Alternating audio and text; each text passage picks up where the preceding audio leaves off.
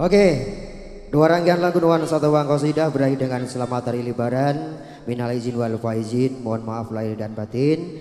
Dan saya tidak sendirian, saya bersama sahabat saya, Gus Luki.